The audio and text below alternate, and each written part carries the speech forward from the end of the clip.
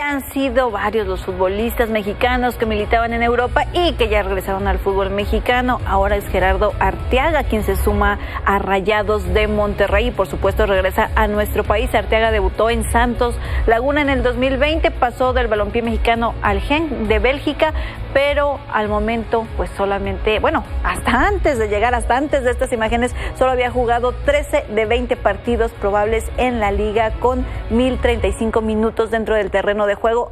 Había sido 11 veces titular y también jugó 74 minutos en la eliminatoria rumbo a la UEFA Champions League. Gerardo será la competencia directa de Jesús Gallardo, quien se rumoró en su momento estaba en la mira de Chivas. Escuchemos lo que dijo a su llegada hace unos momentos a Monterrey.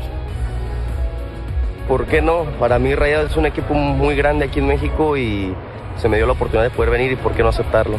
En mi momento creo que sí, yo lo decidí venir ahora en este momento y por qué no Monterrey, un equipo muy grande. Yo no lo veo como ninguna decisión mala, mal tomada. Y creo que Rayados fue el que estuvo desde el principio en, en la negociación conmigo. Yo me conozco a Rayados desde que estaba en Santos. Creo que es un rival que me ha encantado siempre y sobre todo también las